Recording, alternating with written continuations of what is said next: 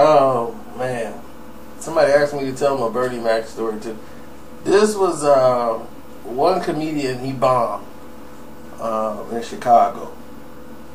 You know, he he worked the comedy circuit. It's just one of them bad nights where he wasn't that good, and I mean, nothing he said was jumping at all. And lo and behold, Bernie wasn't even working that night.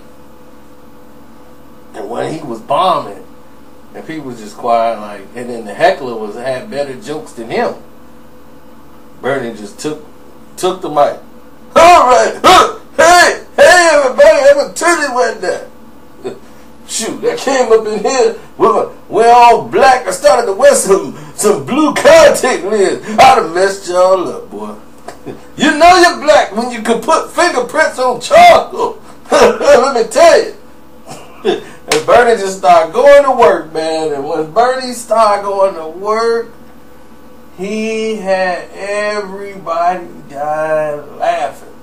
You couldn't stop laughing. When you go to fast food restaurant, why they ask you stupid question? Do you need a straw? You need a napkin? Mother, you know I done paid all this money for this doggone food. What do you mean I need a napkin?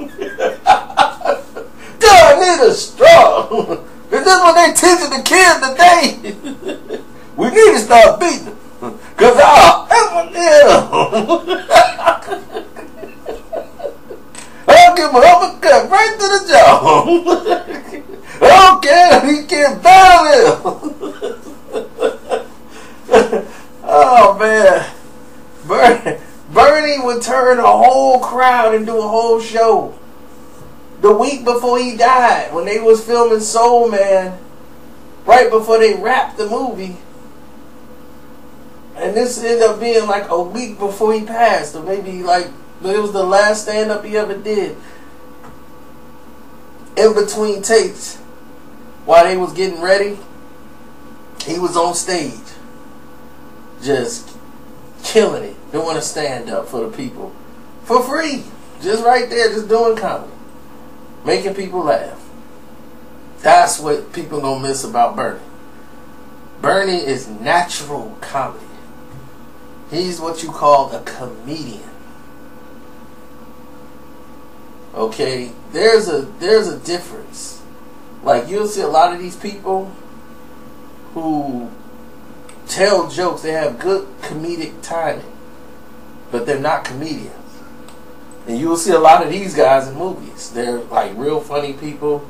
Like uh, you'll see Steve Carell, you know, and uh, all these other people who have never really. You'll be surprised they never really did like stand up.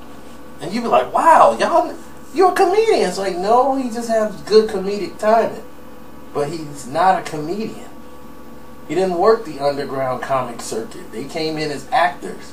And they didn't make it in action roles or anything else. They started putting them in comedies. So the comedians were getting pushed out and they were just writing the jokes. While the actors were actually being the, the comedians. You know, Zac Efron. for example. You know? And this was ticking off the comedians. You know, they're like, look, we can do this. You know, we, we don't want to be off the screen. We can hold our own on the screen too. and Bernie was one of those dudes. You know, they wouldn't give Bernie a show. Bernie, you know what? They won't give me no show, don't you? They, they afraid I'm to say something. so when he had the Bernie Mac show, he, he showed he can do a show with no curse. They just think Bernie just gonna curse all on the show. the script was so funny when he written it out, but a lot of people didn't like it. Like, man, we used to Bernie being Bernie, man. I'm like, he was still Bernie. He was funny. I mean, you want to do that? Pay and see him do stand up. Because you're going to get your money's worth with Bernie. But that's what you're going to miss about Bernie, man. He had a big, very big heart. He, this city loved Bernie Mac. The Mac. He just lit everybody up.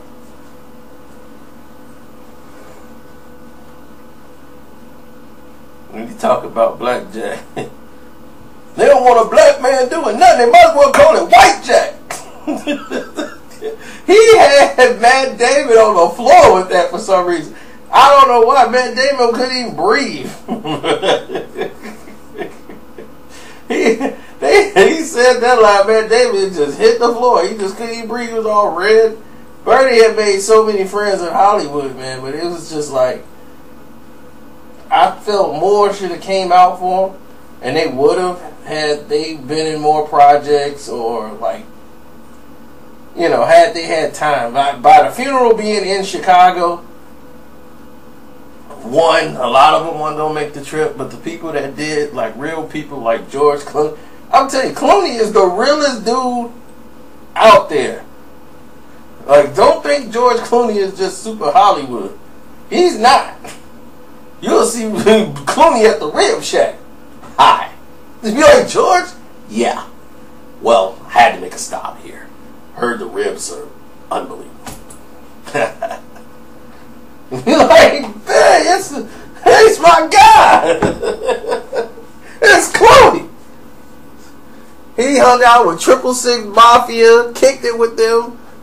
And everybody else was ignoring them, treating them, giving them the hi hat.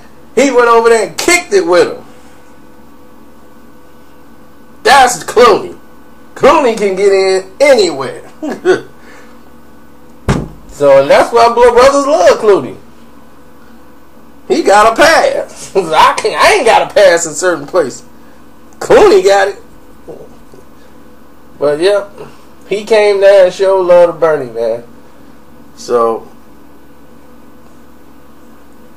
yeah, we always miss Bernie, man. But uh, that's it. I just wanted to do that for that fan, the one fan that asked me about Bernie. I'm out.